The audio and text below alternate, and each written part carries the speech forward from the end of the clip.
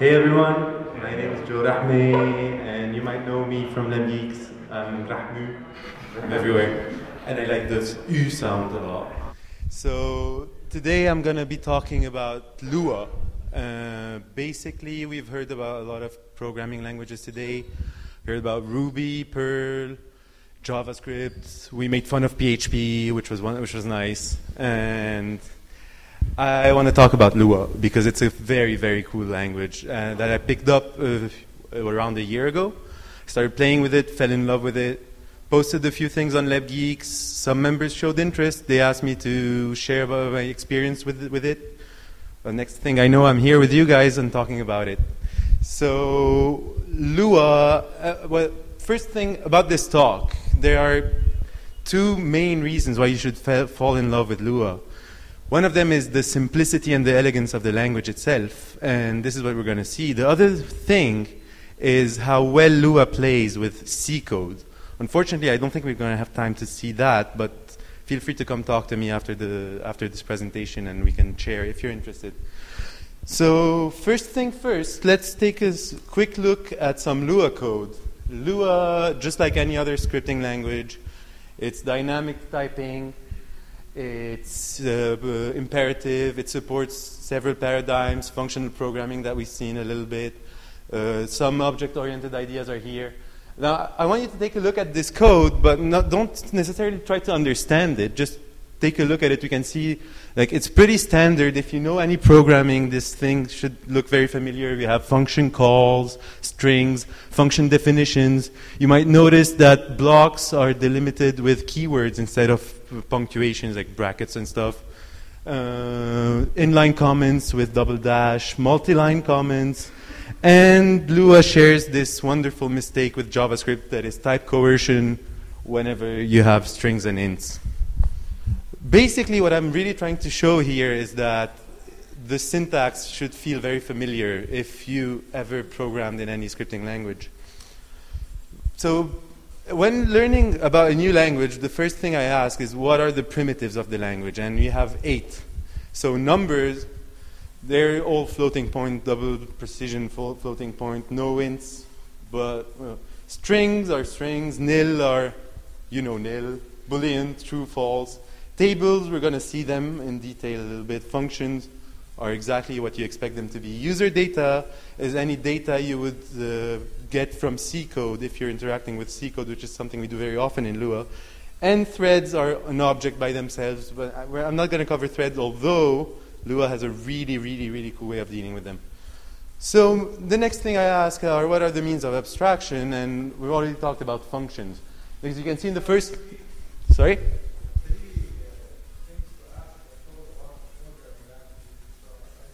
Exactly. nice. So the, fir- the first thing is a function declaration. Well, notice that line breaks don't matter as much, and you can declare a function like function, the name, the arguments, the, the code, the body of the function, and the end keyword. Notice that in, in Lua, functions are first class values. So what the first line really is, it's just syntactic sugar for an assignment statement with an anonymous function, a lambda. And this is very, very important because this is something we use all the time in Lua. Anonymous functions everywhere. And we're going to kind of look at it if we can. But before that, let's look at the third point from SICP, which is the means of combination. How do I combine objects to create compound objects? And Lua has a very religious take on it. It's tables, tables, tables, tables. Tables are the only means of combination. So, what are tables really? You're probably familiar with the concept. They're called associative arrays, they're called hash maps, they're called dictionaries, they're called so many different things. It's basically a set of key value pairs. So the syntax is really is really straightforward. You're using curly braces. You can use, declare the empty table, or you can use names for your values, your keys and values. And what is really cool about tables is that they're a little more flexible than your traditional hash maps. So for instance, in the first five table, I do not declare keys for my values. They automatically get the numerical key which comes with their position. And now there's something really weird about Lua. We start with index 1. It sounds weird to programmers. Non-programmers find it very normal. ultimately, it's not a problem because Lua is flexible enough to interact with zero-based array without any problem. And what is even cooler are mixed tables. Mixed tables tell you that it only assigns numerical uh, indexes to values which do not declare their keys.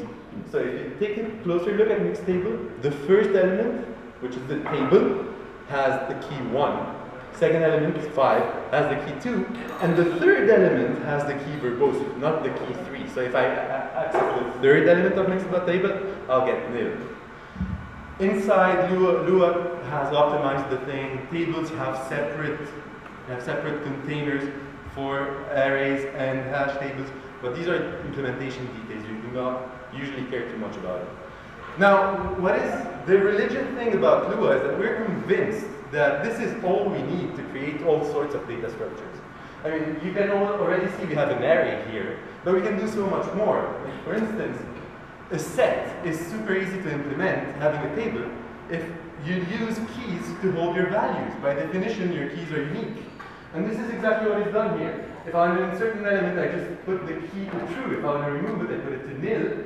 And if I want to check if it's there, I just check if it's true.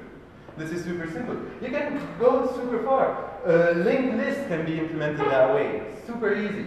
A tree can be implemented that way as well. Tables are flexible enough to give you all you need. This is kind of the bet we're doing when no other language I know of has taken that approach. Except maybe for awk, but who knows awk. Another thing, okay, one great thing about Lua is that it has lexical scoping. Lexical, lexical scoping means, it's a big thing, but it basically means that a variable can live inside of a function and nowhere else. Which allows us to create closures. Who's familiar with closures? Okay, so here we can see what a closure really is. Look at the, the function declaration. The function declares a local integer, i, then returns an anonymous function which modifies i. Now we come to instantiation of, the, of this function. When C1 instantiates a new function, it has its own copy of i that only the function can access. There is no way for outside players to access that function. Every time I call it, C1 parenthesis, i is incremented.